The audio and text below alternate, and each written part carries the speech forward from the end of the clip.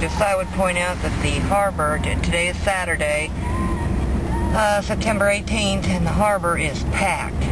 Just packed with people. They are fishing. They are sailing. Oops, speed bump. They are crabbing.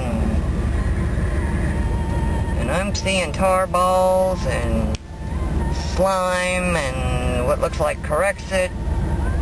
Uh, and we have a number of people throwing cast nets, crabbing, fishing, etc. on the dock here.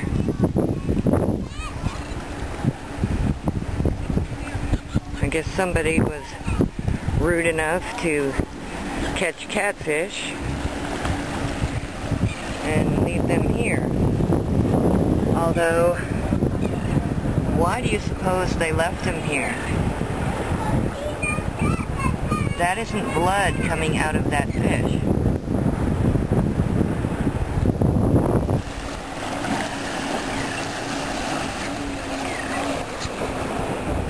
Here's another one.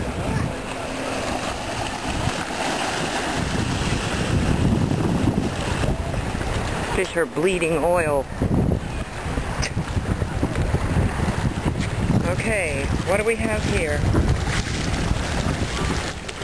Now, is that lovely or what? And this is where people are fishing like crazy. I'm seeing at least a dozen people with their fishing poles. And the water is covered with sheen. The water is stinking like chemical.